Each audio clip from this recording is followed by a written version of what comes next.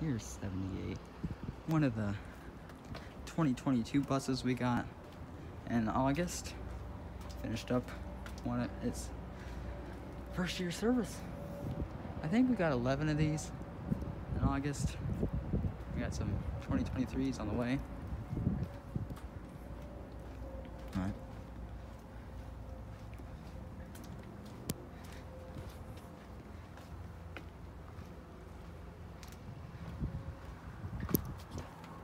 Let's check the mileage out on this. I know this is a contracted subs bus. Oh, the new IC smell. 13,000. I rode this bus for a little bit.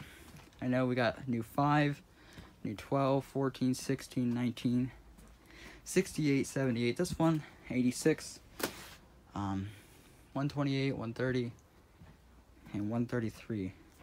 I'll probably just get a video this one. If I do, I'll add it to this.